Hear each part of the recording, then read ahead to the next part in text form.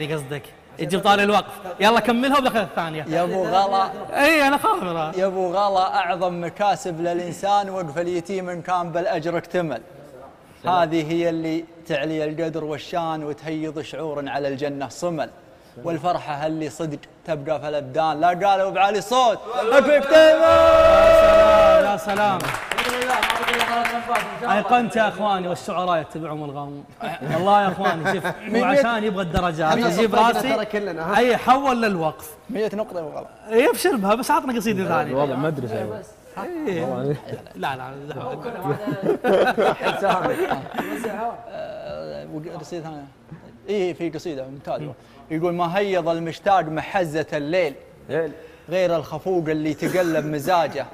يدخل علي الشوق ثم يهلك الويل واقوم اهوجس من طرب.